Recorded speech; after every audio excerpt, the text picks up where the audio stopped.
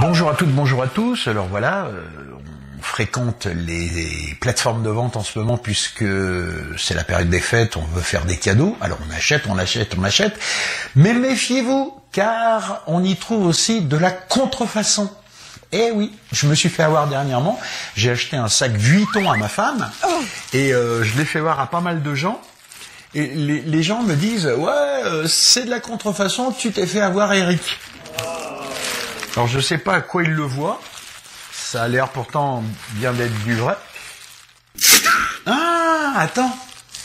Si ça se trouve, ceux qui disent que c'est de la contrefaçon, c'est des vicelards, c'est des pervers. En fait, ils disent ça pour pouvoir me le racheter à moindre coût. non, je suis pas parano, mais je suis pas du style à acheter de la contrefaçon comme ça. Moi, on me la fait pas, moi. Attends, à mon âge. Ah, c'est les, les vicieux. Ah, j'allais me faire avoir dans l'autre sens. Du coup, je suis con.